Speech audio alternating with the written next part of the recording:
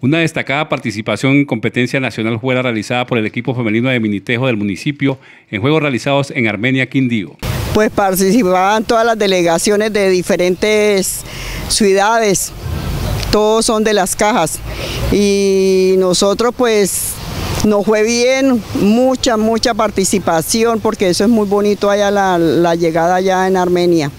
Hay, hay competencia de todo, tanto de minitejo, masculino, femenino, como voleibol, minifútbol, eh, natación, eso hay de todas las modalidades allá. Es una participación muy bien grande.